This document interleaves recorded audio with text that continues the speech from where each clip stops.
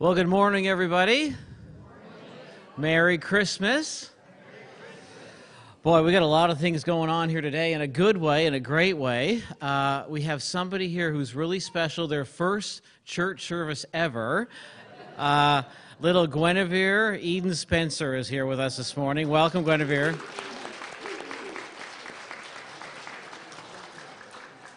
I don't know, should we get her to fill out a Connect card? But, uh, uh, more things to celebrate. I got to embarrass somebody else, but Landon, there's Landon.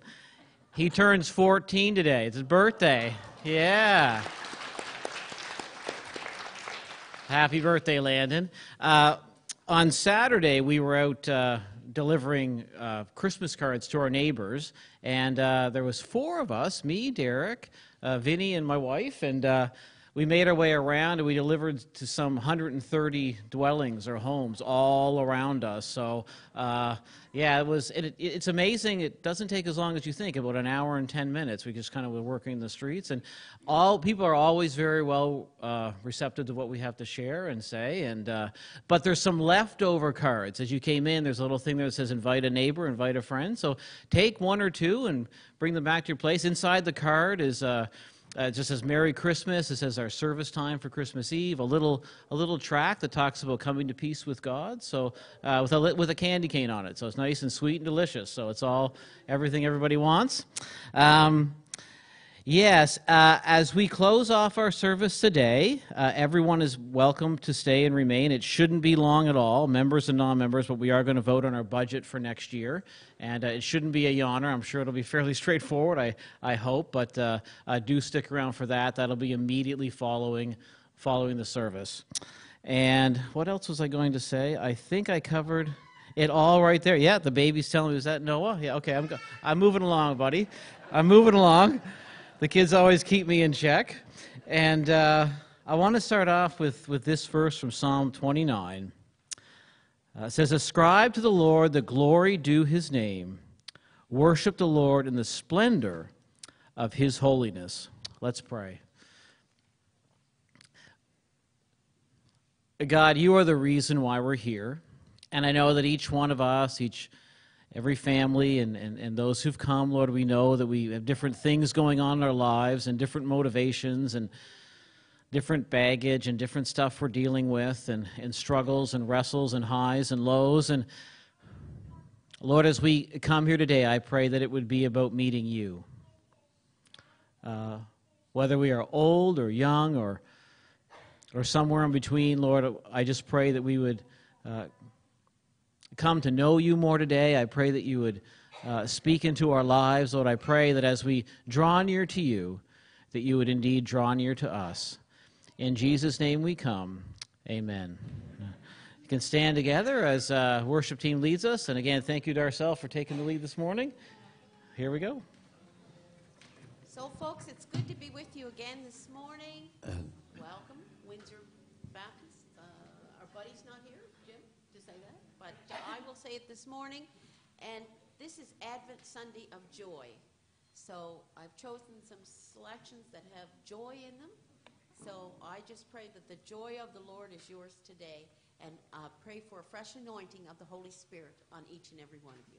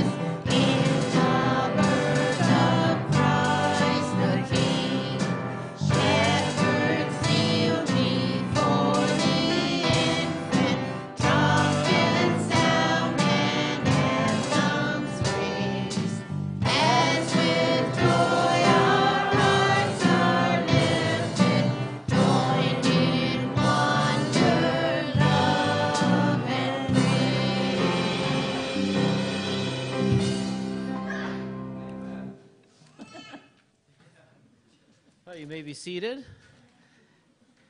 And uh, we'll have the Advent reading now, and then uh, the children can be dismissed, followed by the scripture reading. Stay up.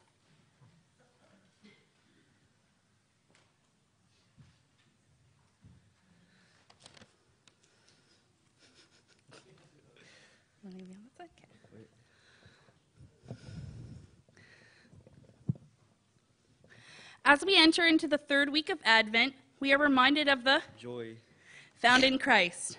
We are reminded of such joy, found in his coming in Luke 1, verses 68 to 75, where Zechariah said, Praise be to the Lord, the God of Israel, because he has come and has redeemed his people. He has raised up a horn of salvation for us in the house of his servant David, as he said through his holy prophets of long ago. Salvation from our enemies and from the hand of all who hate us, to show mercy to our fathers and to remember his holy covenant, the oath he swore to our father Abraham, to rescue us from the hand of our enemies and to enable us to serve him without fear, in holiness and righteousness before him all of our days. We light the third candle of the Advent wreath this morning to remind us of the joy, that is found in Christ.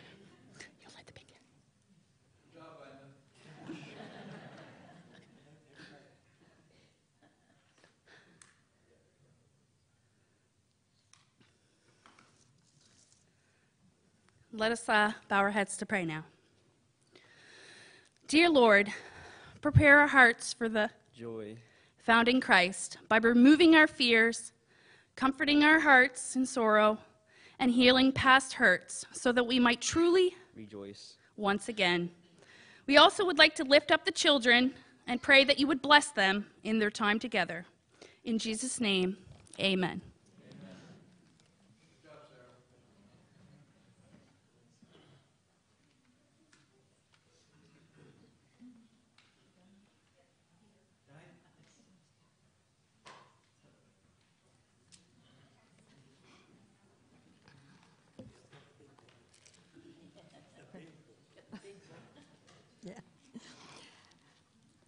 I'll be reading from the NIV, uh, Hebrews chapter 2, 9 to 18. But we see Jesus, who was made a little lower than the angels, now crowned with glory and honor because he suffered death, so that by the grace of God he might taste death for everyone. In bringing many sons to glory, it was fitting that God, for whom and through whom everything exists, should be made the author of their salvation perfect through suffering. Both the one who makes men holy and those who are made holy are of the same family. So Jesus is not ashamed to call them brothers. He says, I will declare your name to my brothers. In the presence of the congregation, I will sing your praises. And again, I will put my trust in him. And again, he says, Here am I and the children God has given me. Since the children have flesh and blood, he too shared in their humanity, so that by his death he might destroy him who holds the power of death, that is, the devil, and free those who all their lives were held in slavery by fear of death. For surely it is not angels he helps, but Abraham's descendants.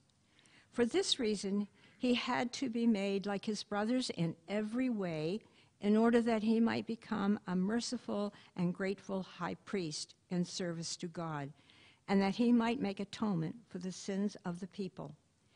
Because he himself suffered when he was tempted, he was able to help those who are being tempted. May God add his blessing to the reading of his word.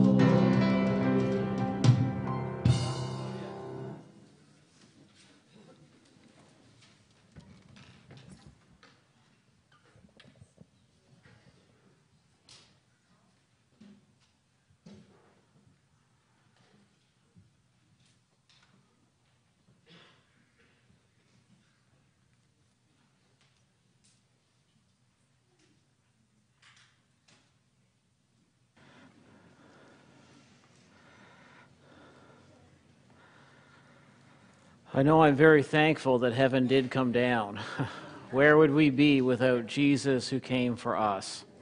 Uh, last week, I started off with a real life example that's a picture of what God has done for us. It all started at Christmas. Uh, and uh, I want to share it again. I uh, felt it came across a bit too quick, but there's so much to it, and I thought it, it sets things up nice for this morning. But uh, going back to 1997, uh, a two year old boy, the son of Guo Gangtang was kidnapped, and we're in China here, so this would be the end of the 90s. And uh, um, child abduction is a problem there, it's a real issue.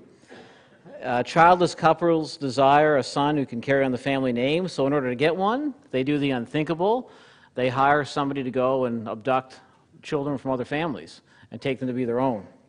So somebody bought Gangtang's son and stole him. And uh, when he disappeared in 97, the police set out to find them, but of course they found no leads. China's a pretty big country, as you can imagine. Um, they had nothing to go on. After quite an effort, they quit. And that gave the family no hope, but it was against all hope that the father, the father set out to find his son. And uh, he had a bag full of flyers, a big uh, picture or banner of, uh, with his son put on it. And uh, he rode a motorbike more than 310,000 miles uh, through nearly half of the country's provinces. And like I said, China's pretty big. Um, he wore out 10 motorcycles. He wore out 10 motorcycles. He exhausted his savings and even racked up a debt. This is what you do for your, for your kids, eh? He searched year after year for two whole decades. And then finally, in the summer of 21, just recently. Using DNA analysis, there was a break in the case. Uh, the suspects were tracked down, confessed to the crime, and the son, who had been missing for 22 years, was reunited with his family. Isn't that something? Exactly. And for me, that's a beautiful picture of what the gospel is. It all started at Christmas. That's God coming for you and me. He loves us that much. For God so loved the world that he sent his one and only Son. And God's children, by the droves, have been kidnapped by Satan. They don't know their Father, but their Father knows them. And our Father will not rest until the lost are found. And you say, why? Well, that's what I just said with John 3.16. What fuels God's pursuit for you and me and the people around us is his love. Friends, for you Jesus came and all he asks is that you receive him by faith and come back to him. Merry Christmas. you know, this, this love that God has for you and me is very deep and it's very personal. And it's that personal part that I want to talk about this morning. Uh, the verse from Matthew uh, that Matthew pulled from Isaiah 7, we read that last week, and I want to go over it again here today very festive uh, slides there. I like that. Uh, the virgin will be with child and will give birth to a son, and they will call him Immanuel, which means God with us. So last week we spent some time considering that this child is God, which is mind blowing, and, and uh, theologians do their best. Some people reject it outright. That can't, that can't be. But Christianity must fully embrace it. It's fundamental to our faith that the child was God, a virgin birth.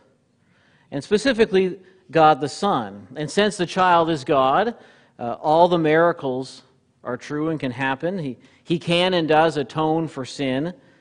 And of course, he did rise from the grave. He's not just some person, you know, some dude in the Middle East 2,000 years ago walking around, hanging around, fisherman. He was God with us. In fact, only because he was God could he remain sinless and bear the weight of God's wrath so we could be saved. Every coin's got two sides. So this week I want to focus on the fact that he was one of us. I want to, I want to consider his, his humanity. It is God, yes, but it's God with us 100% God and 100% human. In the birth of Christ, God became fully human. It's truly incredible love. I don't know if you realize how unique that truth is among philosophies and world religions. Uh, I'm told if you go through a history of philosophy, there's, they're always arguing what is more ultimate, you know, the absolute or the particular, the one or the many, the ideal, eternal or the real or the concrete. You know, is Plato right? Is Aristotle right? But the teaching of the incarnation breaks through all those binaries and categories. Immanuel means that the ideal has become real, the absolute has become particular, and the invisible has become visible. As one author said, the incarnation is the universe sur- surrendering, history altering, life transforming, paradigm shattering event of history. God has just taken on flesh. And in the words of Eugene Peterson in the message, if you've ever read that, uh, that paraphrase, he's moved into the neighborhood.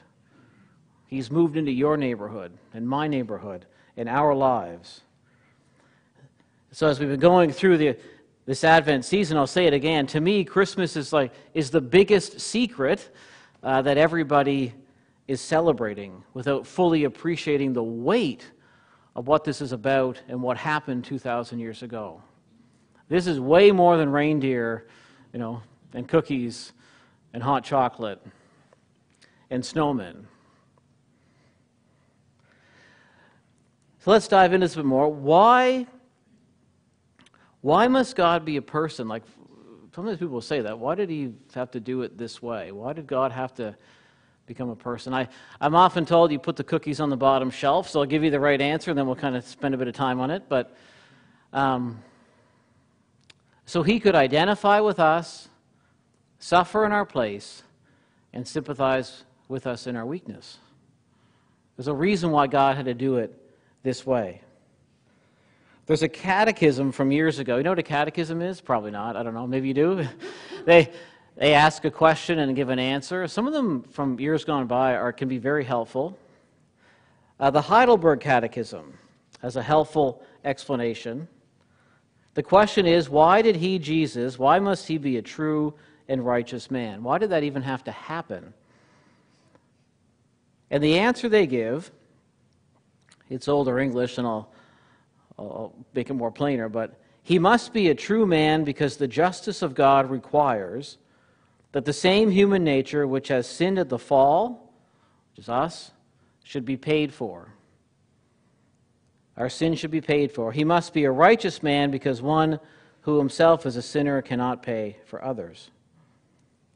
The answer here is focusing on the need for a real human nature. Why? Because the penalty for sin requires suffering in body and soul. And only a human could do this. God had to become fully human for God to fully save you who are human. Jesus did not only share in our nature, but also had to identify with us in the experiences of the fall, which we read earlier in Hebrews 2. So just, you know, please appreciate how deeply personal all of this is. And in that, it was essential that Christ himself did not sin as he walked on this earth. He was perfect, he did what we could not. Another author writes Only such a truly human mediator who had experiential knowledge of the woes of humankind and rose superior to all temptations could enter sympathetically into all the experiences, the trials, and temptations of man and be a perfect human example for his followers. Right?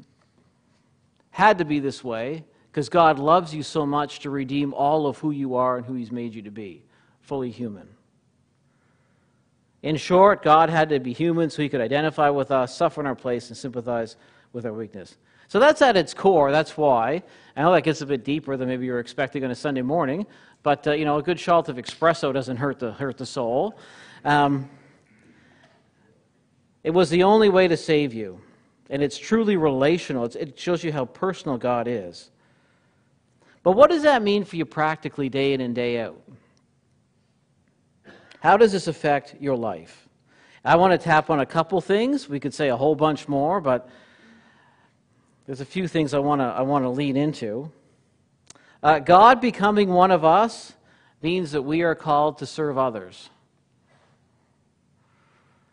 That's a big one because it's not just all about you or me, it's about other people.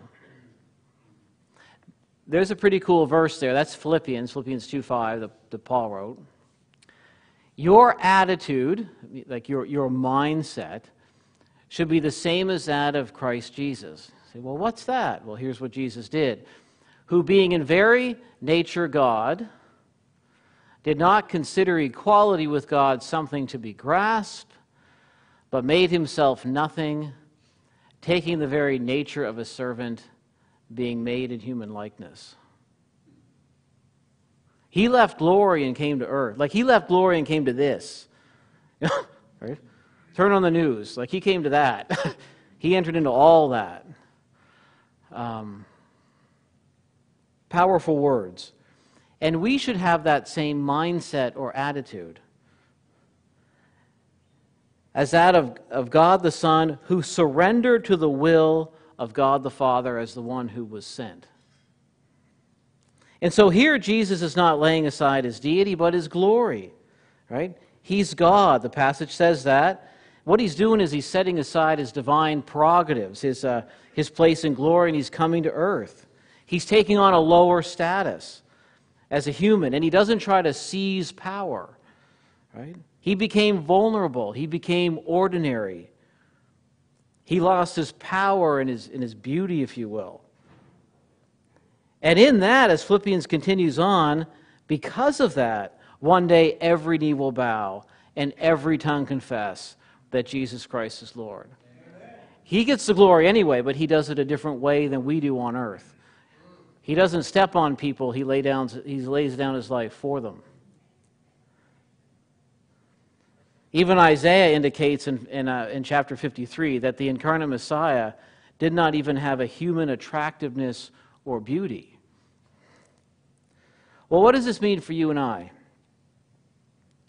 Well, I mean, contrary to you know living in North America, it's a real shot against vanity and pride, and and having a, a pursuit of, of glamour and you know being the prominent one. Um, a message for all ministers here, right? And we should never be snobs, right? Use people as stepping stones uh, to get higher and higher up and, and seek that which is sleek and beautiful and be adored. I'll give it to you. Here's an older, an older author, one of those old ministers that just kind of lay it down. um, he puts it like this For the Son of God to empty himself and become poor meant a laying aside of glory a voluntary restraint of power, an acceptance of hardship and isolation, and being ill treated and being misunderstood.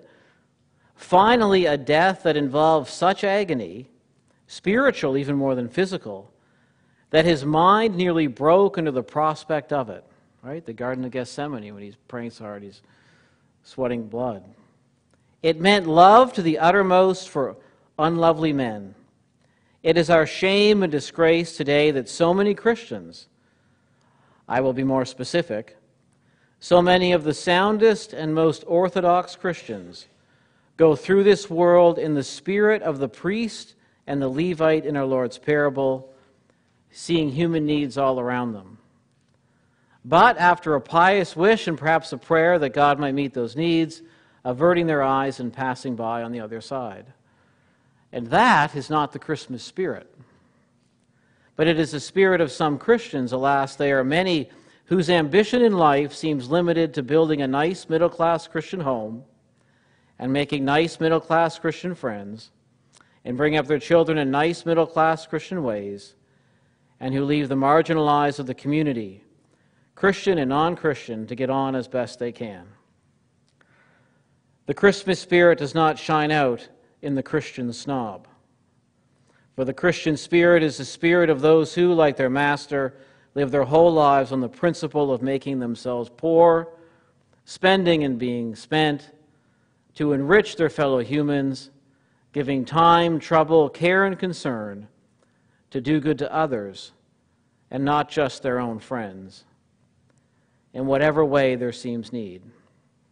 There. it's a pill to swallow. Christmas is a big deal when we think about what God did for us.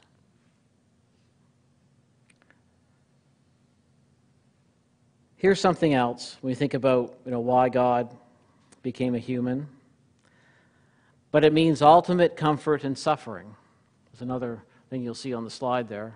It means ultimate comfort in suffering. Um, I do want to say, and I was talking to, uh, to Heather beforehand, but as a church family, we do want to express our condolences, Heather and Anna, the loss of your mom this past week. Uh, Nanny Hope, uh, beautiful service on Friday. Um, lovely Christian lady who went home with the Lord, and so tears of grief, but tears of joy, right? So, uh, last Monday, last week, my week started off by doing a devotion in my office and being nudged by the Holy Spirit to go see uh, Joyce. And as I went in to meet with the family, that's when that's when things turned, and um, and Joyce passed, went home with the Lord. As we were reading Scripture and praying, and as those who loved her were were consoling her and holding her hand. And I say all that because in the midst of death, I testify I saw and experienced the very presence of God in that room. I knew God was there. Him becoming a person means we have ultimate comfort. And the hardest thing a person will ever go through, and that's, that's death. And I share this with you too. Um, Sometimes people will knock ministry, but I have the best job in the world. I started off my week witnessing somebody who went home to glory, and I finished off my week by holding on to little Guinevere, who was just born. Um, and I say this because entering into the lives of people for the sake of Jesus is a, is a tremendous blessing. It's what God has done for us and is what He calls us to do to others, to, to extend that same comfort. He's there when life begins, He's there when life ends, and He's there through, through it all in the middle. God is present. You know, when, when you're happy and things are going well, you can feel like, like part of the crowd, like you know. But when something bad happens and, and real suffering comes to you, you can feel so lonely, you know. People can express sympathy to you, but doesn't necessarily help, right? But if you meet somebody who's been through the same things you have, it, it kind of changes things. You can relate. They know what it's like. You can pour your heart out to them. The incarnation means that God suffered. Um, and theologians wrestle with this one and that Jesus, but that Jesus triumphed through suffering. And that means, as Hebrews said, which was read earlier, that Jesus now has infinite power to comfort you. Christmas shows you a God unlike the God of any other faith. Have you ever been betrayed by somebody? So is he. Have you ever been lonely? He had times, I know, where he felt like he was the only guy standing telling the truth been destitute, faced death, so has he. I read this this week and I thought, that's a powerful thought. People sometimes say to me, You don't understand, Rod. I've, I've, I've asked God for things, I've prayed to God, and it's like God has ignored my prayer. Well, in the Garden of Gethsemane, Jesus said, Lord, take this cup from me, not my will, be yours be done. God didn't answer that that prayer, that request, because he had to go to the cross. God knows what that's like.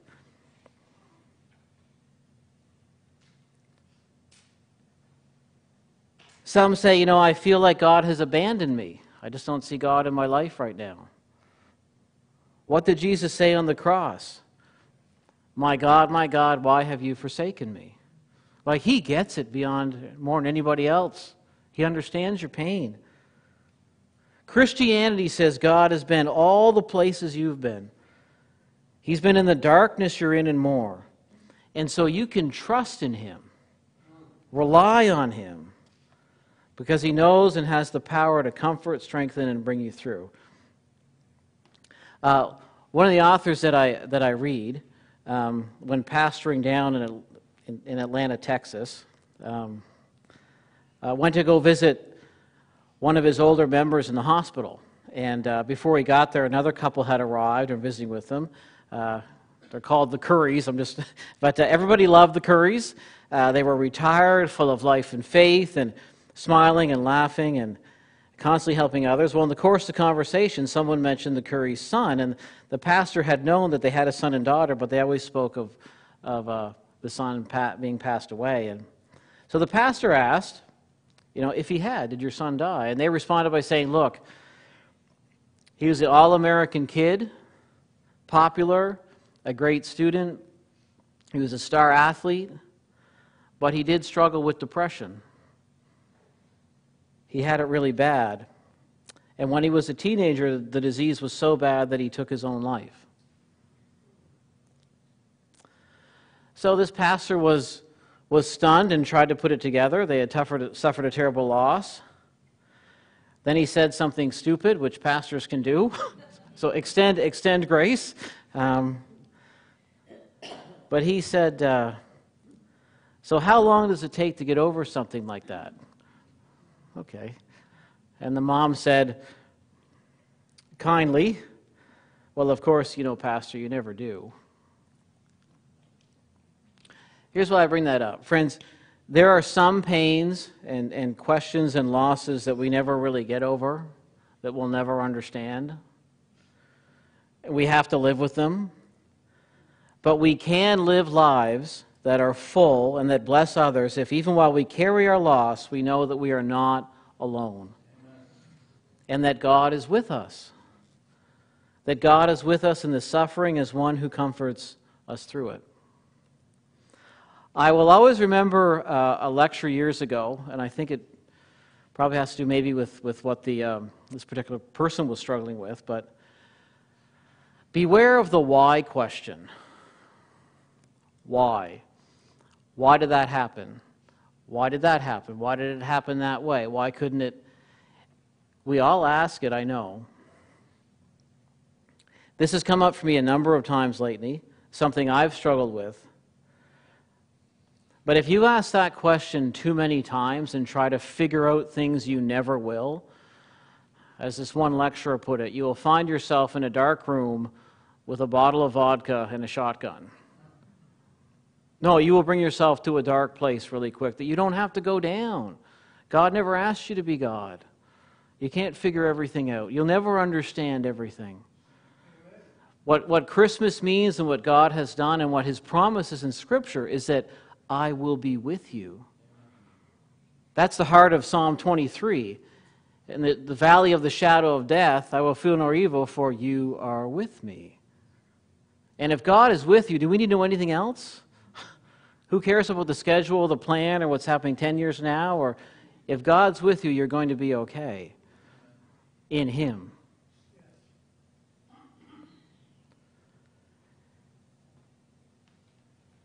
Instead of trying to figure God out and everything that's happening, just embrace His presence that's all around you and be comforted by it. Worship instead of worry. God is with you and with us all the time. And I'll, I'll, I'll mention this last thing that really is the heart of everything we've been saying, but it means ultimate comfort. No? Oh, it's underneath. Okay, yeah, it means you can have a relationship with God. Right? Why did God become a person? Because you means you can have a relationship with Him. Uh, in the Gospel of Mark, it says that Jesus chose 12 apostles and appointed them so that they would be with Him. In 314. 314. What does with him mean? Well, from that text and the rest of the Gospels, we see that it means Jesus' presence. He's, he's talking with them, he's hanging out with them, he's teaching them, he's eating with them, he's sleeping, he's, they're all together. Um, learning from him, moment by moment comfort. The purpose of Christmas and the incarnation is that we would have a relationship with God. Which is huge and so significant, which I think there's always that part of me whose blood boils a little bit when people just think it's, it's reindeer and Santa Claus. It's just not. It's not that. It's so much more than that. And I'm not knocking the fun or the, the, the and all the rest of it, but it's, we are missing the point and being distracted beyond belief. In Jesus, the unapproachable God becomes a human being who can be known and loved through faith. And by the way, I don't think this shocks us as much as it should. Just look at the Old Testament. Anytime anyone drew near to God, it, it was usually completely terrifying. It wasn't, you know, wasn't rose petals and, uh, and, uh, and warm, warm glass of milk. I mean, God appears to Abraham as a smoking furnace, and, and to Israel as a pillar of fire, and to Job as a hurricane or tornado. When Moses asked to see the face of God, he was told it would kill him. That at best he could only get near God's outskirts, his back in Exodus 33. When Mo, in fact, when Moses comes down from the mountain, his face was so bright that the people couldn't look at him. Just the guy hanging out with God, they couldn't hang around that guy, you know? I mean, could you imagine if, if Moses were present today and, and were to hear the message of Christmas that the Word became flesh and made his dwelling among us? I mean, Moses would probably cry out, you know, don't you realize what this means? This is the, the very thing I was denied. This means that through Jesus Christ you can meet God and you can meet Him personally without terror.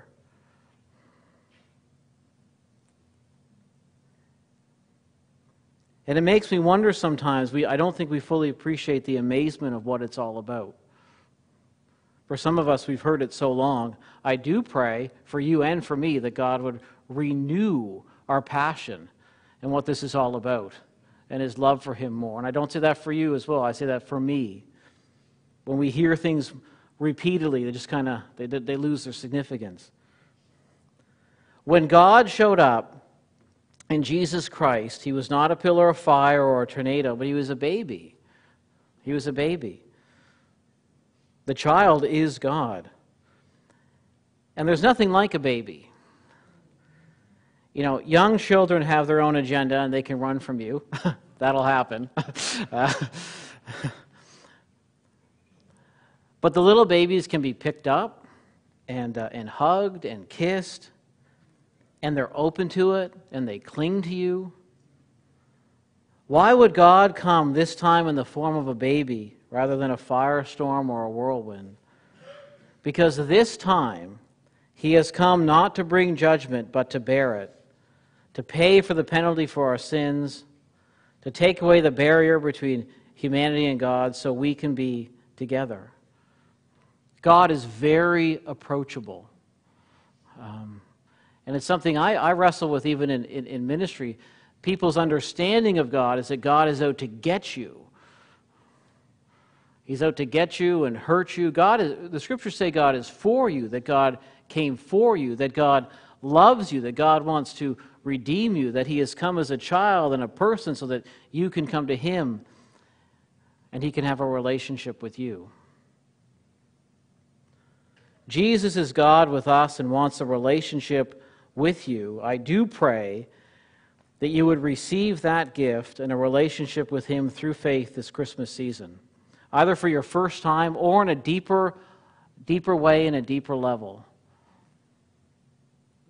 And so when we say Merry Christmas, that's what we're saying. The greatest gift ever has been given to everybody. All they have to do, and all you have to do, is choose Christ today. Let's pray.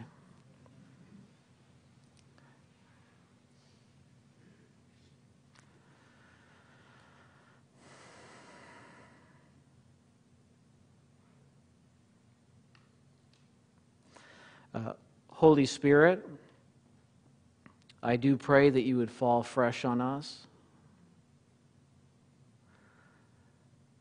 We all live in the land we live in, and I do as well. And I, it, there's a spiritual battle. There's a numbing going on of, of your word and your presence. Lord, I pray that you would break through. I pray that your light would shine in dark places. I pray for real repentance. I pray for grief over our sins, that we would truly come to you, come to know you in a deeper way. Lord, I pray that you would increase in all of us a, a greater passion for your word and for your presence. It does feel at times, Lord, that we live in a dry and weary land. And so I pray that you would send rain. And that the seed of the gospel would grow and flourish. Uh, Lord, thank you for coming in the person of Jesus Christ.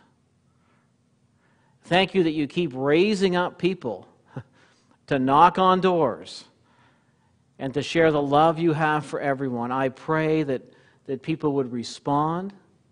I pray for all of us here in the room that we would open up deeper places of our hearts that we've got closed off to you and know that you're not, you're not there to hurt us, but to help us. Fill us with your presence, Lord God. In Jesus' name we pray. Amen.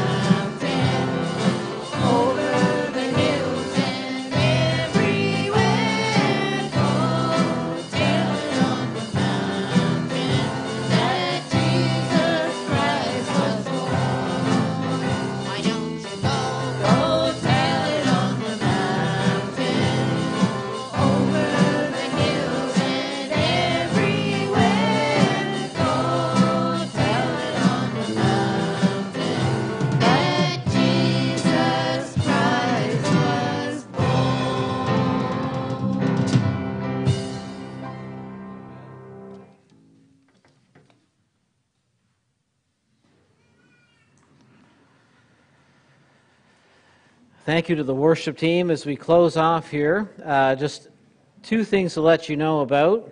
Uh, tonight at the Manning, uh, they're having their uh, worship service at 7 o'clock. Uh, and there's a new hot young preacher there named Reverend Clyde who's going to bring the word. And uh, new to the Mannings, yes, right. Go hear him preach. He's a great preacher. That's tonight at 7 o'clock. Next Sunday is Christmas Eve, and so we will have our 10:30 a.m. worship service, and then the Christmas Eve service will be uh, at 6 o'clock. Uh, I'm going to uh, close in prayer, and then we'll the worship team can make their way down after you do their little ditty, and then we'll have our, our business meeting uh, right after that. Don't run off and be scared. Uh, uh, if you're not a member, uh, you're more than welcome to sit uh, and listen. Let's pray. Lord, thank you for today. Thank you for Christmas. And I you know that song.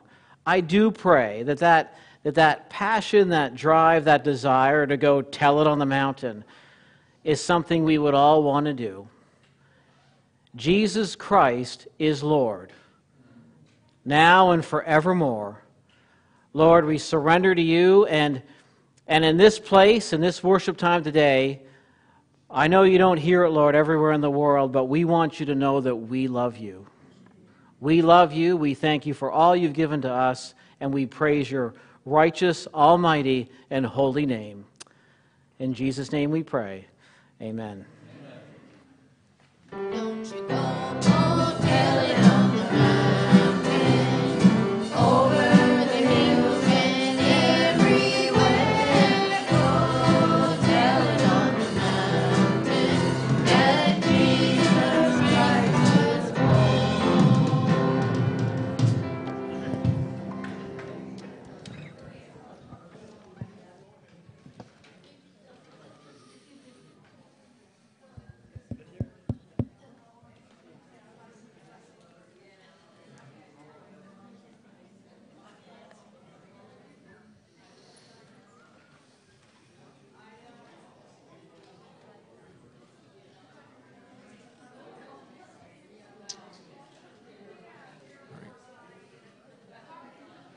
So we're going to try to make this as, as short and sweet as possible. Um,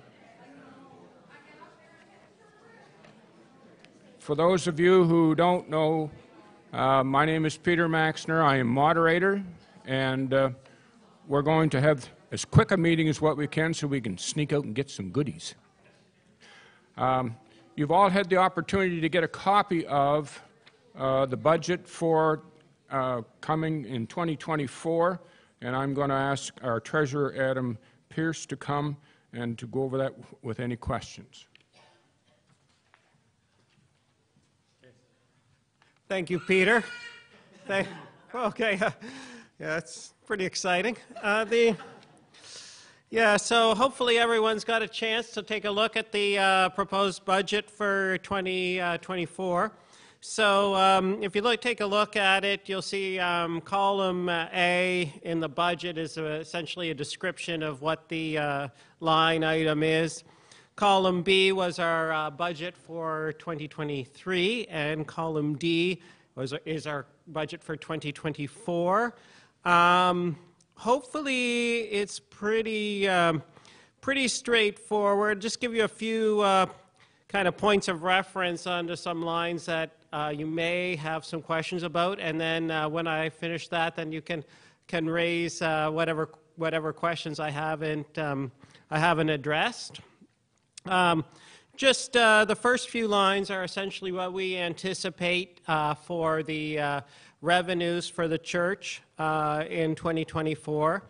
Um, but if we go down into the operating expenses, line 15, the electricity, you can see we uh, estimate a small increase there. Um, just remind you that uh, for those of you who don't know, our solar pan- this money is actually um, paying back our solar panel loan, so it's actually adding to the equity in our church. It's not just going to Nova Scotia Power, uh, so it's adding to our equity. Um, next line, that's kind of a bigger change, is the uh, audio-visual information technology.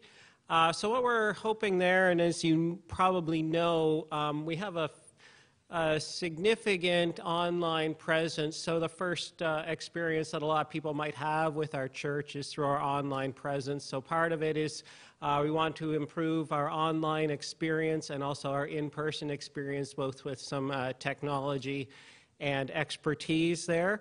Um, so you'll see that as a bit of investment that we're looking at. Um, that was uh, line 24. Uh, line 25, a small reduction in our, or our anticipated loan payments. Uh, that's essentially thank you to everyone who um, made generous donations over and above to uh, the mortgage, because that did end up decreasing the principal, uh, so that our actual uh, contractual obligations with respect to the loan payments are slightly reduced for 2024 uh, which is nice for operating. Uh, go down, um, small increase at the United Mission. You see um, some increase in the United Mission. Uh, so that goes to um, that United Mission is for our um, convention partners, uh, Can- Canadian Baptists of Atlantic Canada, to support um, their ministry, which help, which is um, in uh, Nova Scotia, New Brunswick, PEI, and Newfoundland, helping uh, Baptist churches like ours in ministry and uh, hoping to grow um, the uh, Christian witness through our denomination in our in Atlantic and also around the world. Um, increase in our partners in mission, which are um, missionary. Um, what was our partner in mission, Rob? Yeah, our, our Miss Scott. Yeah, our, our EBW ladies should know. Yeah. So to help her uh, international ministry. Um, and again, down at uh, Kingswood Camp. Kingswood Camp is the uh, camp here in, um, well, it's in uh, Kings County. And it's for the Eastern Valley uh, Baptist Association Christian Camp. Um, wanted to increase there. So it's a place that a lot of children and youth have their first experience um, with Jesus Christ and have, uh, there have been a lot of uh, uh, people, uh, young people coming to know the Lord there. So we really want to uh, do a little bit of an increase there. Um, Lord willing, maybe in the future we'll be able to do even more.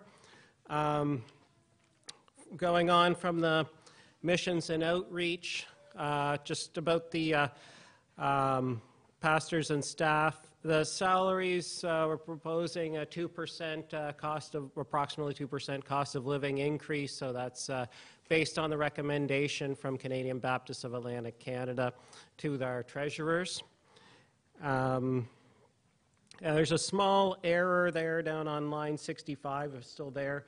Um, it says 12,000 for wage benefits. Um, it's actually going to be $7,000, so not quite as big an increase there as was uh, uh, predicted. So that uh, the, the corrected number for pastors and staff would be um, $131,431. Uh, other uh, committees and budgeted expenses essentially um, similar to uh, 2024, uh, or correction, 2023. Um, noting uh, some increase in the food ministry, which is all of the food um, ministries, for, especially for people who are in need. And we know there are a lot of people in need these days. And a uh, small increase in leadership development for helping to um, develop leaders in our church. Uh, total operating expenses, a corrected number would be $243,117.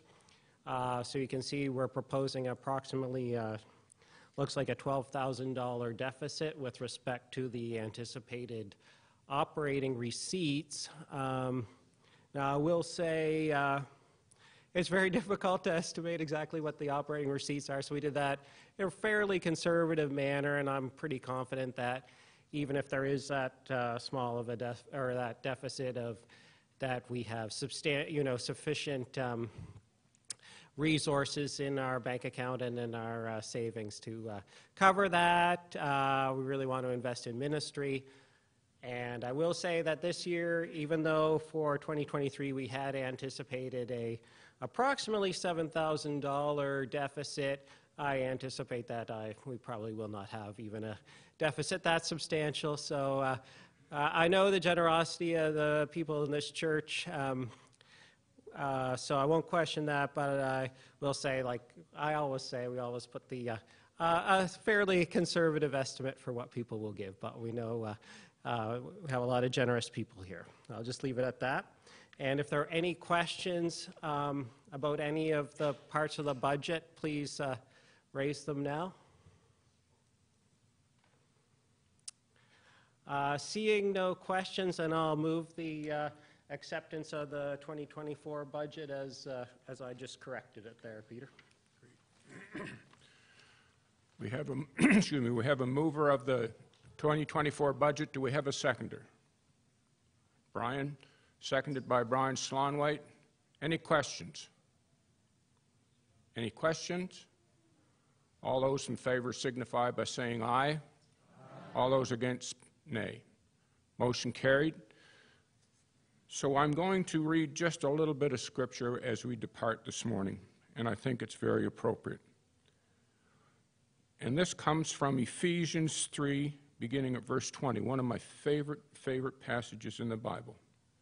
Now, to him who is able to do immeasurably more than all we ask or imagine, according to his power that is at work within us, to him be glory in the church and in Christ throughout all generations, forever and ever. Amen. Thank you.